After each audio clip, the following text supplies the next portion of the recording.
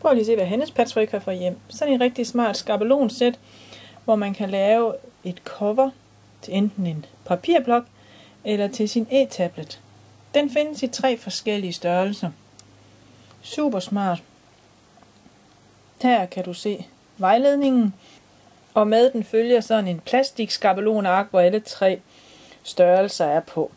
Det er da rigtig smart. Så køb sådan en, og så har du tre størrelser. Enten til en papirblok, du kan sætte ind med noget kantebånd og noget, eller du kan lave til din tablet, eller med elastik, så den sidder fast. Rigtig smart. Og ja, selvfølgelig kan du købe den hos Hannes Patchwork.